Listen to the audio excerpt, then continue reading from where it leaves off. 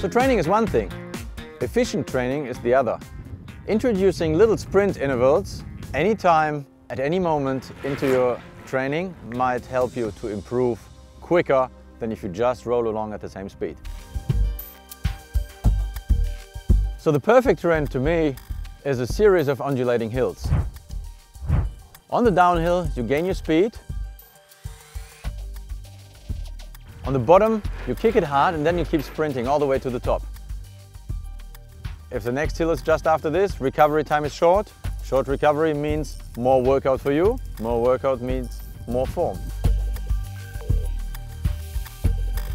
So if you don't have access to short hills where you can sprint up, it doesn't really matter.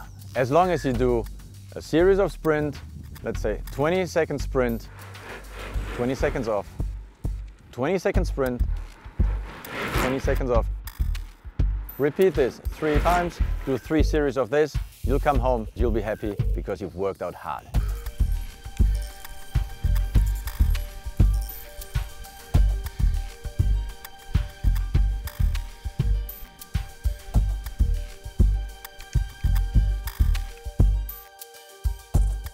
So if you go riding with your local group, it might be a good idea that everybody has the right to call out a finish line. A sign in the distance, somebody else finish there and everybody sprints. It's more fun, but always remember, having fun does not mean you should be unsafe. Watch the others, watch the traffic and get better. Sprinting helps you a lot.